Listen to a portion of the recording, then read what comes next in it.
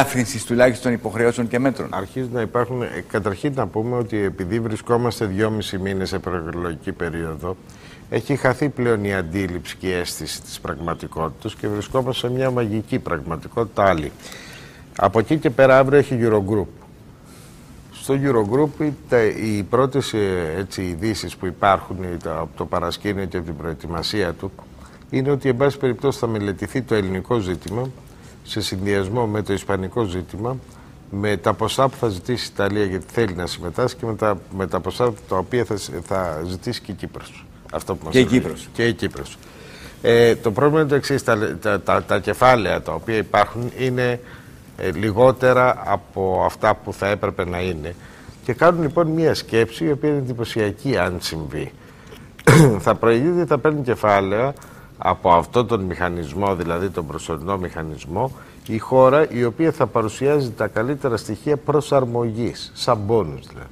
Μπορούμε Εμείς να είμαστε καταλάβουμε τελευταίοι τι εκεί πέρα. σημαίνει αυτό. Θα είμαστε οι τελευταίοι. από εκεί και πέρα, όλες οι δηλώσεις ε, σε όλα τα επίπεδα και παρά τις πιέσεις των Αμερικανών στους Ευρωπαίους, οι οποίες είναι ασφικτικές και καθημερινές σε επίπεδο λευκού οίκου, αυτό το οποίο μπορούμε να δούμε είναι ότι μας δίνουν μια, ε, μας, ε, θα, υπε- θα πάμε ας πούμε το, τους στόχους του 14 στο 16.